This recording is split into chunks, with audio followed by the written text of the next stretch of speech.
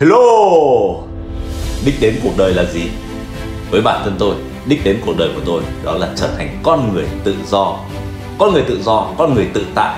Con người tự do là gì? Con người tự do đó là được tự chọn một cái phong cách sống và sống theo cái phong cách mà mình lựa chọn.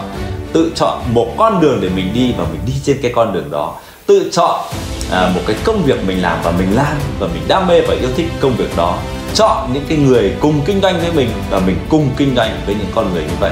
Con người tự do đó là mình tự quyết định những cái điều mà mình muốn đạt được quyết định những cái mục tiêu quyết định những cái ước mơ của mình. Và đối với bản thân tôi khi mà mình biết cái đích của cuộc đời ấy, thì mình rất là sung sướng và rất là hạnh phúc và mình được làm những cái gì mình mình yêu thích ấy, nó sướng lắm nó đam mê lắm. Và mình được đi những cái nơi mà mình, mình muốn đi mình được đến những cái nơi mà mình muốn đến được phát triển cái con người của mình nó không có bất cứ một cái giới hạn nào cả. Thế thế cho nên cái đích đến trở thành con người tự do vô cùng tuyệt vời và vô cùng à, sung sướng. Và các bạn biết không à, với bản thân tôi ngoài cái đích trở thành con người tự do ấy, thì tôi cũng có một cái đích đến trong cuộc đời đó là gì? Cùng với những người đồng đội của mình xây dựng một cái cộng đồng xây dựng một cái trường đào tạo kinh doanh hệ thống hàng đầu thế giới nơi biến những giấc mơ trở thành hiện thực nơi đó để cùng nhau làm một cái cuộc cách mạng làm giàu tập thể cùng nhau tập hợp những con người có thể đầu tiên đơn giản thôi. Đó là gì? Đó là muốn nâng cao chất lượng cuộc sống.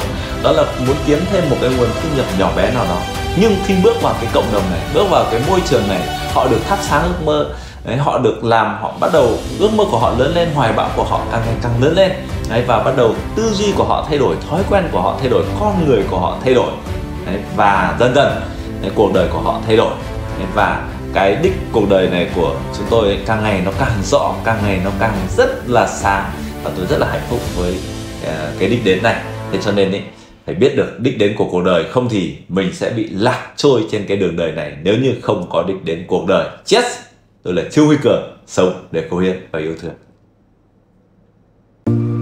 Hãy follow tôi để nhận thêm nhiều giá trị.